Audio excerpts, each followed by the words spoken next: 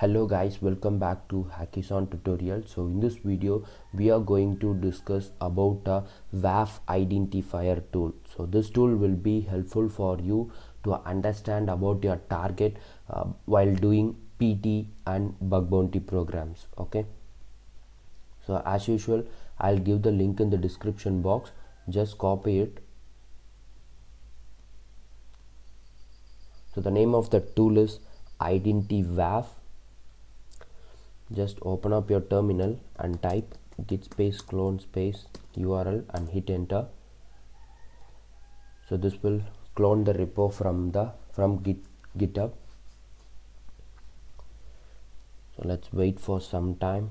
Yeah it has cloned. Move on to the folder that is cd space identYwaf and hit enter. So let's list out and see what are all the files inside that folder so here you could see that there is no requirements for this tool and so that we can straight away run this tool. Python space identYwaf and hit enter. So these are all the options that you can use in this tool. So the first one is version. So this this will display the version of this uh, particular tool and after that help will display the same uh, as options.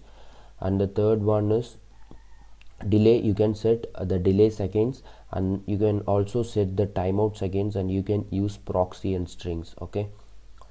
So let's clear it off and try to use it. Python space identYwaf space hyphen hyphen delay space url okay? In this case i'm using stuxnoid.org org this is my target in this case. So let's hit enter. Sorry I, I forgot to uh, mention the integer. So for delay seconds that is 1 in my case I am setting up to 1 you can use anything okay?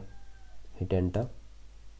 So this will try to uh, it, this has initialized the handlers and this will try to find out uh, the exact uh, firewall running on this. And for the first it has founded that for uh, as a, a non-blind match it has found that uh, Wordfence word fence is running on the target. And after that to confirm it as a hundred percentage it is uh, checking with the default payloads that this tool has. Okay so there are 45 payloads um, that this tool has and it will check each and every payload to confirm what what is the exact firewall uh, is running on the target. Okay so this would take some time. So we can wait for some time to complete the scan. Okay the scan is going to complete and it will now show you the final result. So let's wait.